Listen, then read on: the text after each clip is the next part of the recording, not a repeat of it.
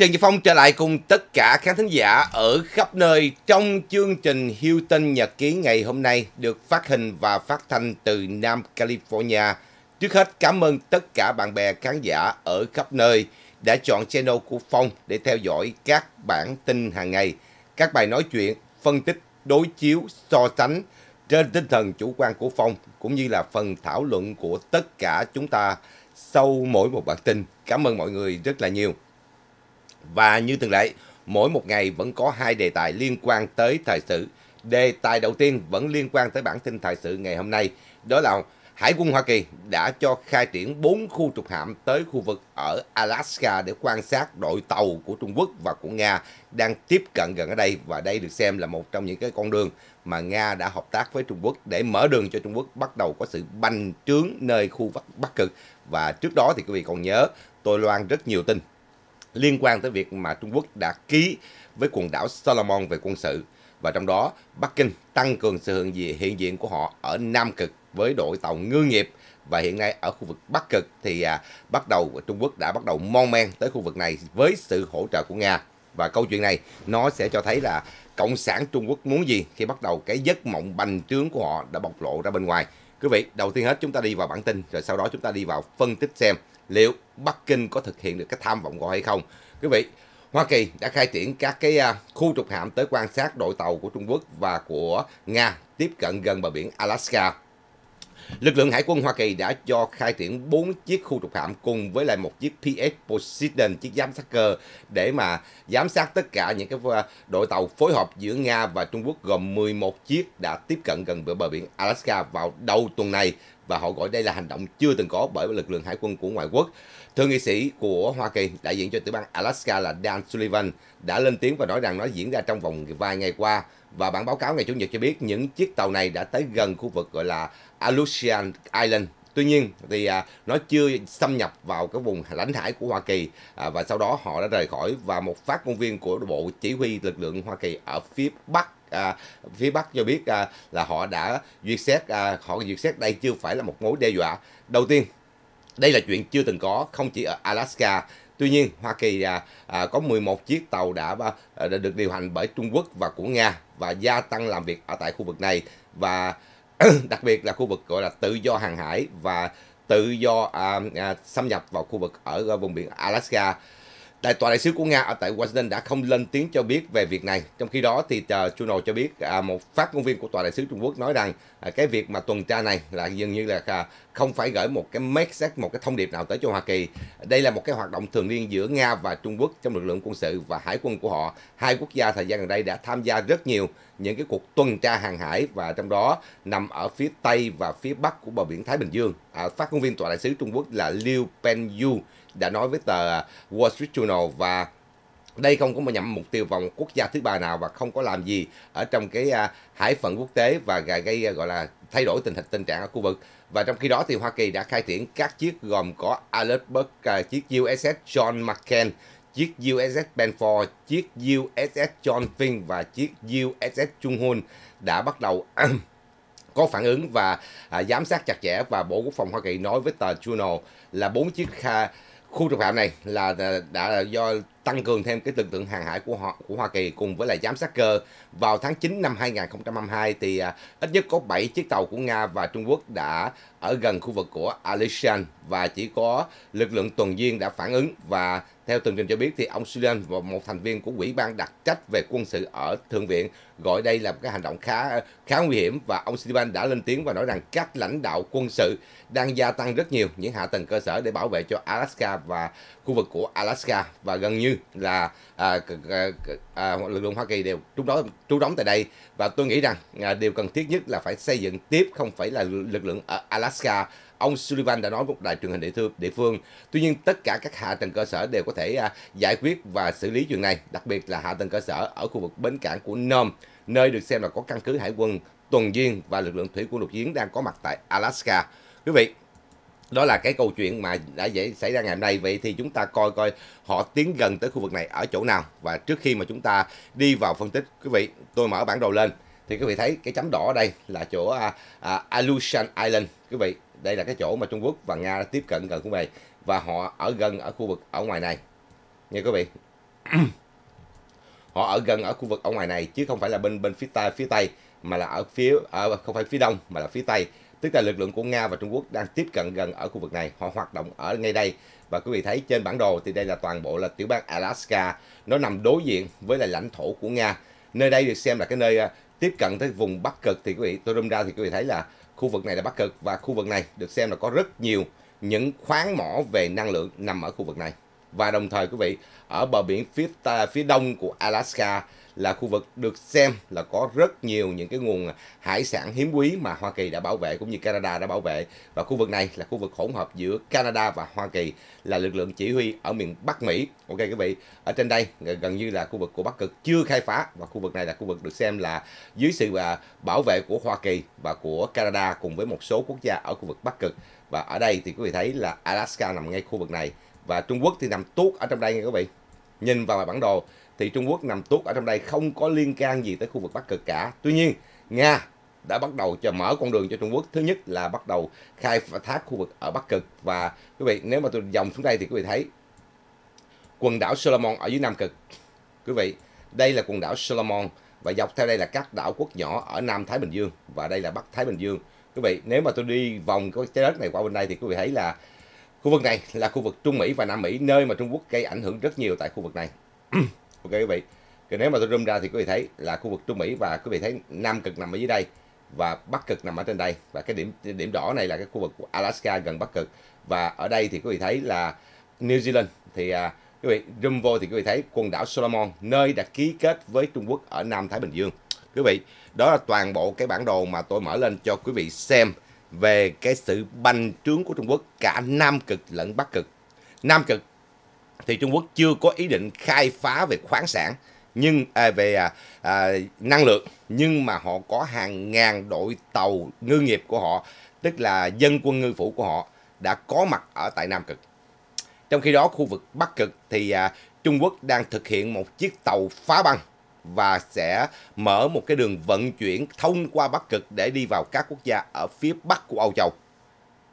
Thì quý vị, thứ nhất là cái đường vận chuyển hòa hàng hóa, thứ hai là khu vực Alaska được xem là khu vực có rất nhiều những cái khoáng mỏ dầu à, dầu thô và kể cả năng lượng nằm dưới lòng biển. Quý vị còn nhớ ông Joe Biden đã từng ký một cái cho phép khai thác cái vấn đề khí đốt thiên nhiên ở khu vực Alaska. Alaska được xem là nơi có rất nhiều những khoáng sản về năng lượng của Hoa Kỳ nằm tại đây. Và ở dưới Nam Cực thì à, Trung ở Trung Quốc đã bắt đầu cho khai triển cái à, lực lượng ngư phủ của họ ở vùng Nam Cực, hàng ngàn chiếc tàu và họ không phải chỉ ở Solomon, mà họ tràn qua các cái đảo quốc khác ở Nam Thái Bình Dương. Đồng thời từ đó, họ di chuyển qua khu vực Trung Mỹ và Nam Mỹ. Nơi đây là được xem là cái à, có một cái nguồn à, gọi là biển cả thiên nhiên và không có khai phá nhiều quốc gia mà Nam Mỹ và Trung Mỹ từ xưa tới nay, họ đã nhận tiền của Liên Hợp Quốc để bảo vệ cái môi trường khu vực này. Tuy nhiên, thì Trung Quốc trong những năm gần đây đã đưa đội ngư nghiệp của họ xuống khu vực ở Na, Nam Thái Bình Dương và kể cả khu vực của Trung Mỹ và Nam Mỹ và gần như là họ tàn phá và họ đánh bắt cá một cách vô tội vạ ở đây đang phá hủy môi trường tại khu vực này. Thì quý vị, rõ ràng là Bắc Kinh đang bắt đầu có cái hành động gọi là bành trướng thế lực của họ ra nhiều khu vực có tiềm năng Thứ nhất là cái tiềm năng về à, ngư nghiệp ở tại Nam Thái Bình Dương và thứ hai là cái tiềm năng về năng lượng ở khu vực Bắc Cực với sự tiếp tay của Nga.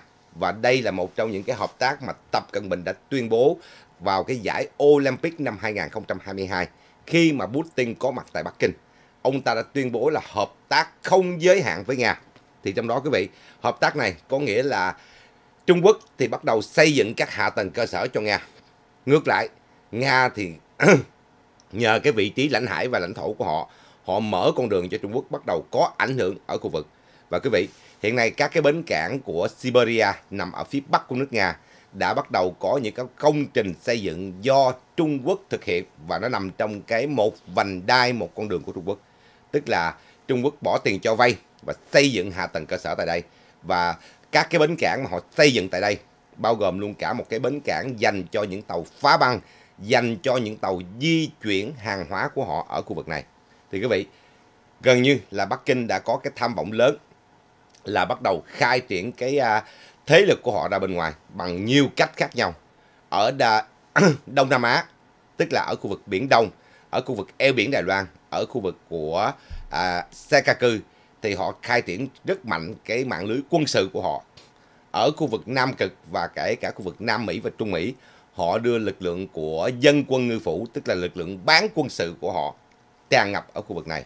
Và bây giờ tới vùng Bắc Cực thì hải quân của Trung Quốc đã bắt đầu có mặt ở khu vực Bắc Cực để bắt đầu à, thực hiện những cái ý đồ của họ và những cái giấc mộng bành trướng của họ bởi vì họ đang khai triển cái à, One Belt One Road tức là một vành đai một con đường và Nga lại giao cái dự án này cho Trung Quốc xây dựng các hạ tầng cơ sở ở tại Siberia. Quý vị, đây sẽ là một cái chiến lược mà Bắc Kinh tạo cái vòng đai bảo vệ cho cái quyền hành của họ tại Trung Quốc. Bắc Kinh thúc đẩy thứ nhất là họ gần như là mở cuộc tấn công toàn diện vào cái trật tự thế giới. Quý vị biết trật tự thế giới, nếu mà nói cái chục cụm chữ này đó, thì nhiều người sẽ không hiểu và nói rằng cái chữ này nó tổng quát quá. Nó bao gồm các cái vấn đề. Thứ nhất là cái quy tắc à, à, gọi là quy tắc à, đối xử của các quốc gia khi xảy ra những cái cuộc tranh chấp. Đó là cái thứ nhất là mình gọi là trật tự thế giới là như vậy. Cái quy tắc đối xử. Thứ hai là có một số những cái luật lệ quốc tế cấm và ngăn ngăn cấm và cho phép. Thứ ba là bảo vệ cho các khu vực còn lại của trái đất không bị phá hủy bởi các cái uh, chương trình xây dựng hoặc là khai phá. Thì quý vị, đây chúng ta gọi chung đó là trật tự thế giới. Bảo đảm cái và đương nhiên bên cạnh đó vẫn còn có cái uh, sự bảo đảm về an ninh hàng hải, tức là ngăn ngừa những cái vụ uh, hải tặc cướp bóc trên mặt biển hoặc là sẽ đối phó với tình trạng gọi là khó khăn và à, thiên tai nhân họa ở các cái khu vực được xem là thường xuyên có động đất, có núi lửa, có sóng thần. Thì quý vị, chúng ta gọi chung tất cả những cái này gọi là trật tự thế giới.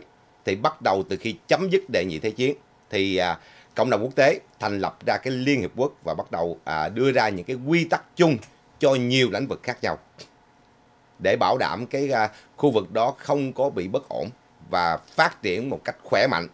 Thì quý vị, đó là từ khi mà chấm dứt đệ nhị thế chiến tới bây giờ, kể cả vấn đề quân sự, kể cả vấn đề kinh tế và kể cả vấn đề gọi là bảo vệ cho các cái khu vực cần thiết được bảo vệ.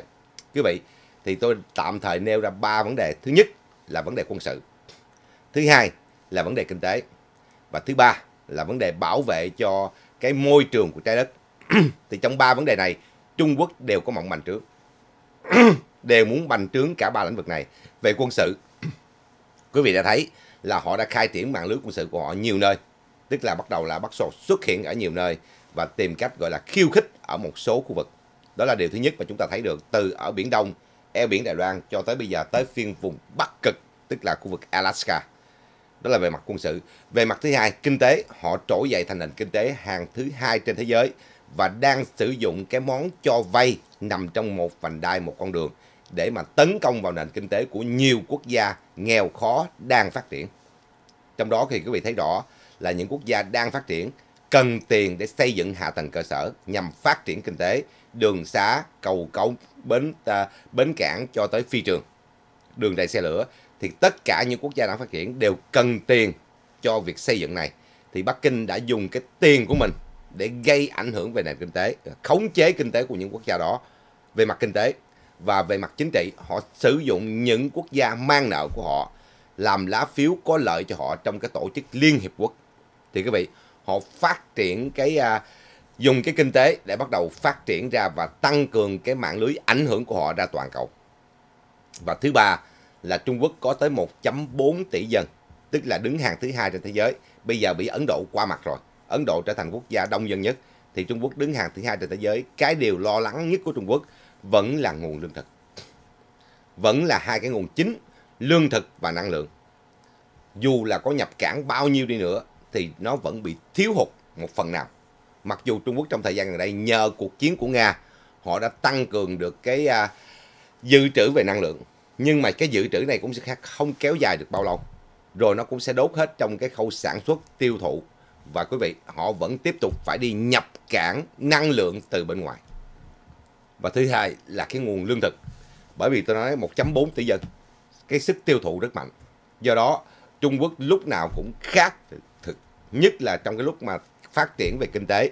Trong 30 năm qua họ phá đi tất cả những vùng đất, vùng đất nông nghiệp để khai thác thành đất thương mại, để khai thác thành đất kỹ nghệ, mở công xưởng, dựng ra những cái shopping rồi khu gia cư.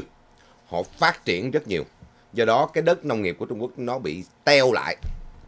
Chính vì vậy mà Bắc Kinh đã bắt đầu thúc đẩy cái việc bành trướng rất nhiều trong cái lĩnh vực về nông hải sản và họ bắt đầu lấn sân qua các cái à, khu vực được được xem là à, ít người vong mang tới ở Nam Thái Bình Dương rồi ở Nam Mỹ và Trung Mỹ rồi bây giờ họ bắt đầu tiến lên Bắc Cực và quý vị giống như tôi nói Bắc Cực có hai cái ở phía tây của Alaska tất cả khoáng mỏ nằm ở đây. Ở phía đông của Alaska là cái nguồn à, cá được xem là top nhất của thế giới.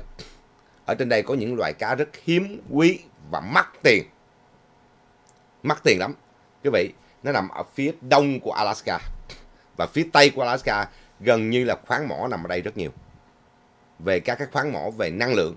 Do đó quý vị Bắc Kinh đã không từ bỏ cái tham vọng là bắt đầu lớn sân lên đây nhưng họ không có quyền lãnh thổ ở đây tức là họ họ không có một cái thêm là thuộc địa lục địa nào ở đây cả và thứ hai họ căn cứ vào cái ngôn ngữ mà Hoa Kỳ đã sử dụng để họ áp dụng ngược trở lại cùng với Nga đó là tự do hàng hải.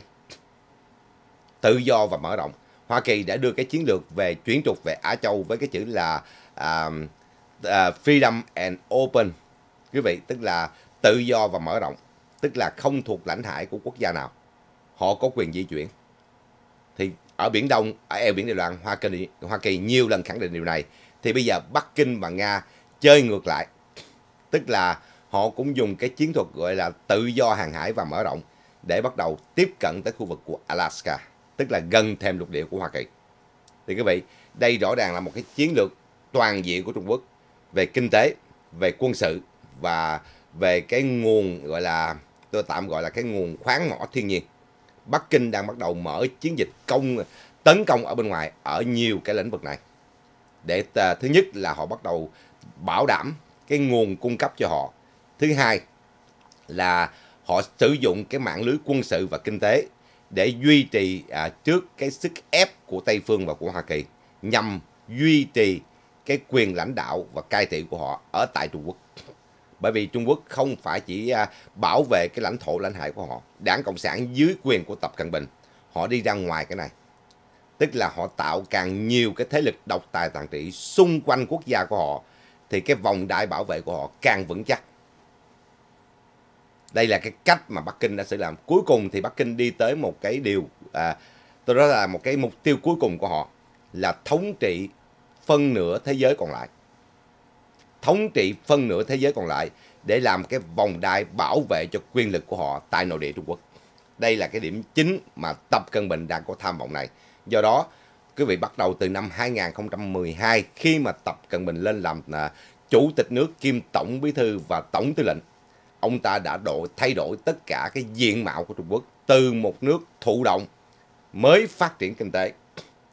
Ông ta biến thành một cái đất nước diều hâu, sẵn sàng có những thái độ hung hăng với những quốc gia khác.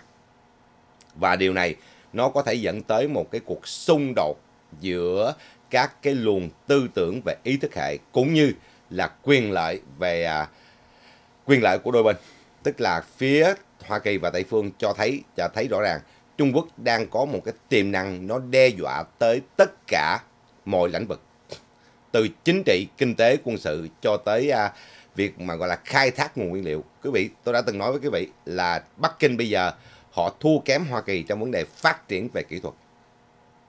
Họ không đủ sức sáng tạo, họ không có cái bản quyền phát minh về tất cả những cái kỹ thuật tân thời nhất thì họ đi ăn cắp. Và thứ hai thì quý vị ăn cắp thì tôi không nói làm gì nhưng cái điều thứ hai Bắc Kinh biết được cái à, gốc vấn đề là nguyên liệu dù Hoa Kỳ có kỹ thuật giỏi cỡ nào nhưng không có nguyên liệu cung cấp thì cũng như không. Nguyên liệu đó đến từ kim loại từ những cái hợp chất quan trọng. Ví dụ như là ngành xe điện thì à, nó đòi hỏi cái à, lithium. Ngành à, kỹ thuật cao thì đòi hỏi cái rare earth hay là ngành kia những cái ngành khác thì đòi hỏi cái khoáng mỏ về kim loại. Thì quý vị Bắc Kinh đi khống chế những cái khoáng mỏ này gần như ở Nam Mỹ và Trung Mỹ. Bắc Kinh đã mua gần hết.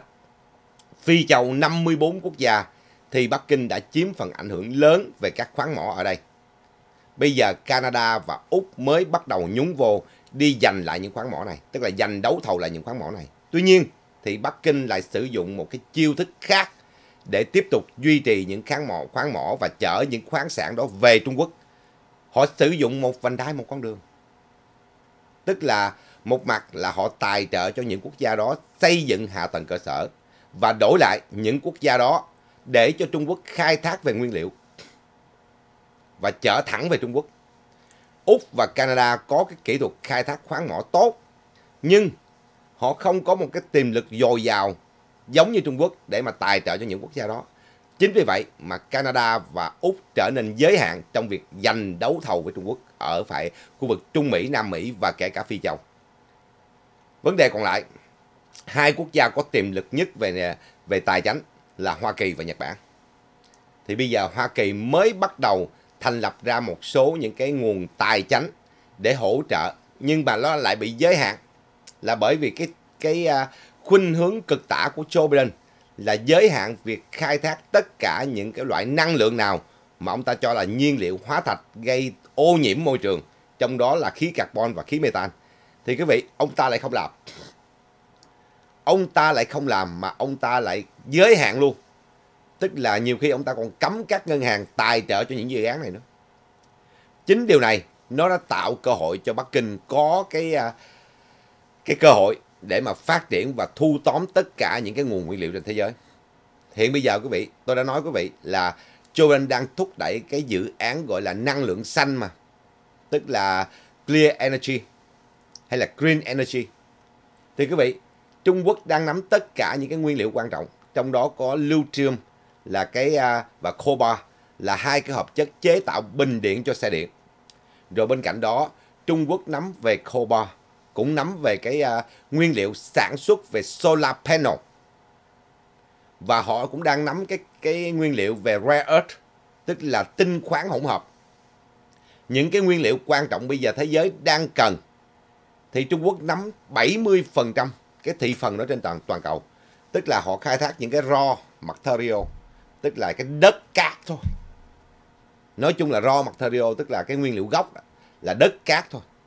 Họ trở về Trung Quốc là họ bào chế lại thành nguyên liệu và họ bán ra bên ngoài và họ kiểm soát điều này. Quý vị nhớ vừa rồi họ trả đũa Hoa Kỳ bằng cách là họ giới hạn cái việc xuất uh, xuất cảng uh, cái uh, lithium và cái uh, cobalt nó làm cho cái thị trường kỹ thuật và xe điện bị lúng túng. Bởi vì Trung Quốc nắm cái nguyên liệu này. Bắc Kinh không nắm được kỹ thuật, nhưng Bắc Kinh khai thác về khoáng mỏ. Do đó quý vị, cái việc mà họ khai thác bắt đầu nhúng chân vào Alaska là một cái điều nguy hiểm. Bởi vì Nga sẽ dành ra cho Trung Quốc khai thác chung về năng lượng ở khu vực này. Mà nếu khai thác năng lượng ở khu vực này, thứ nhất, nó sẽ tàn phá môi trường ở Bắc Cực. Và thứ hai là Bắc Kinh lại có thêm một cái nguồn cung cấp năng lượng dồi dào do hợp tác với Nga. Có nghĩa là Bắc Kinh có được cái sự bảo đảm về vấn đề năng lượng. Đây là một trong những cái mà Bắc Kinh đang có tham vọng và Tập Cận Bình muốn lấn sân qua bên Bắc Cực là như vậy. Phía Nam Cực thì quý vị, tôi đã nói là hiện nay thế giới đang bị thiếu lương thực. Đang bị thiếu lương thực thì cái nguồn lương thực quan trọng nhất là hải sản và nông sản. Thì Bắc Kinh bây giờ bắt đầu tìm cách thu tóm hải sản. Họ tung hàng ngàn tàu à, ngư phủ của họ ra khu vực Nam Thái Bình Dương, lấn qua tận khu vực Nam Mỹ và Trung Mỹ. Đánh bắt cá tức là họ đi để họ đánh bắt cá và họ làm ngay trên tàu luôn. Rồi sau đó họ bắt đầu xuất cảng ngược lại hoặc là họ đưa về Trung Quốc. Thì quý vị, đây là một trong những cái mà tôi nói với quý vị rất nguy hiểm. Bởi vì Trung Quốc mà khai phá về cái khu vực ở Nam Thái Bình Dương, cái nguồn ngư nghiệp này đó, họ bất chấp mọi thứ. Họ bất chấp mọi thứ để đánh bắt cá. Họ không phải đánh cá, bắt cá bằng lưới. Họ đánh bắt cá bằng thuốc nổ. Nó gây cái áp suất lớn và khiến cho những cái loài sinh vật ở dưới biển đó quý vị bị áp lực. Đây là cái cách mà họ tàn phá ở khu vực ở Nam Thái Bình Dương và ở khu vực Trung Mỹ và Nam Mỹ. Tới mức mà quý vị thấy là một số quốc gia như Chile ở dưới đó là họ lên tiếng. Họ nói rằng là phải có một cái lực lượng hải quân hỗn hợp ở đây để bảo vệ cho vùng biển này trước cái lực lượng ngư nghiệp Trung Quốc đang tàn phá môi trường. Thì quý vị, Nam Cực, Bắc Cực là những cái nơi được xem là đầy tiềm năng về ngư nghiệp và về khoáng sản. Bắc Kinh không bỏ, nhưng Bắc Kinh không có thềm lục địa ở dưới này hay ở trên kia. Do đó cuối cùng là họ sử dụng một vành đai một con đường, họ sử dụng cái uh, cái à, cái chiến lược này để khống chế những quốc gia ở Nam Cực và đồng thời họ hợp tác với Nga ở Bắc Cực để mà họ có thể khai phá cái à, đường vận chuyển và khai thác về cái vùng năng lượng ở khu vực này. Đây sẽ là một cái chiến lược mà Tập Cận Bình đang phối hợp với Nga. Và điều này nếu như mà tiếp tục cái chính sách được xem là cực tả của ông Joe Biden, nhấn mạnh về môi trường và xã hội, thì quý vị, trước sau gì trong vòng một thập niên Nga và Trung Quốc sẽ khống chế nhiều nơi. Nếu chúng ta không có một ông tổng thống mạnh mẽ để chấn chỉnh và chặn đứng tất cả những cái tham vọng này của Nga và Trung Quốc thì quý vị có lẽ là cái à, phần còn lại của thế giới sẽ nằm dưới sự kiểm soát của cả Nga và Trung Quốc. Do đó, cục diện này chúng ta cần có những cái à, thái độ quyết liệt, cương quyết, mạnh mẽ hơn để chặn đứng tất cả những cái đe dọa này. Joe Biden không làm. Joe Biden chỉ muốn thúc đẩy cái môi trường và xã hội. Và quý vị, chính điều này mà nó làm cho nước Mỹ trở nên yếu kém hơn so với cục diện bây giờ của Trung Quốc. Và chính điều này nó sẽ ảnh hưởng tới cái kết quả bầu cử năm 2024. Và việc mà Nga và Trung Quốc tiếp tục phối hợp để khai thác khu vực Bắc Cực, nó là cái tiềm năng không những đe dọa riêng nước Mỹ, Canada và các quốc gia ở vùng Bắc Cực. Đây là cái nơi đã được gìn giữ 70 năm qua, không để cho môi trường bị tàn phá. Nhưng bây giờ với sự xuất hiện của Cộng sản Trung Quốc thì nó không bảo đảm chuyện gì hết. Quý vị đã chứng kiến trong những năm qua khi mà Trung Quốc phát triển kinh tế và bắt đầu đi khai thác ở những quốc gia khác, cuối cùng cái hậu quả họ để lại là một môi trường tan nát. Một môi trường tan nát, dơ bẩn và ô nhiễm. Bất kỳ một cái khu vực nào họ khai thác và đi qua khai thác đều để lại một cái hậu quả khủng khiếp. Thì quý vị, bây giờ khu vực gọi là sạch sẽ nhất ở Bắc Cực đang bị đe dọa và sự đe dọa này có sự tiếp tay của cả Nga. Và Nga thì bị áp lực của khối Tây phương thì họ ở cái thế họ phải hợp tác với Trung Quốc thôi. Họ hợp tác với Trung Quốc thôi và họ cấu kết với lại Bắc Hàn, Iran để trở thành một cái khối đối lập.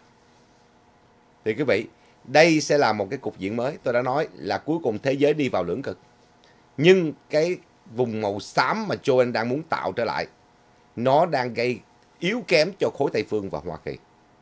Cứ suốt ngày đi về cái vấn đề môi trường và xã hội, mà không có một cái sức mạnh quân sự trấn áp, không có một cái nền kinh tế mạnh mẽ để mà trấn áp thì cuối cùng quý vị phần còn lại của thế giới sẽ lọt vào tay của Nga và Trung Quốc. Điều này không tránh khỏi. Ok quý vị, đó là cái bài phân tích Hilton nhật ký ngày hôm nay phần 1 trong việc mà Trung Quốc và Nga đã bắt đầu à, mon men ở khu vực Alaska, khu vực Bắc Cực và khu vực này. Xưa nay là nằm dưới sự kiểm soát của phía kia là Nga phía còn lại là Hoa Kỳ, Canada và các quốc gia ở Bắc Cực. Nay thì Nga đã phối hợp với Trung Quốc để gây ảnh hưởng ở khu vực này và nó sẽ là một cái tiềm năng đại họa cho thế giới nếu như mà Bắc Kinh bắt đầu nhúng vào và khai thác, cũng như là khai phá khu vực Bắc Cực, cũng như là khai phá khu vực Nam Cực. Nó sẽ là một cái đại thảm họa trên toàn cầu.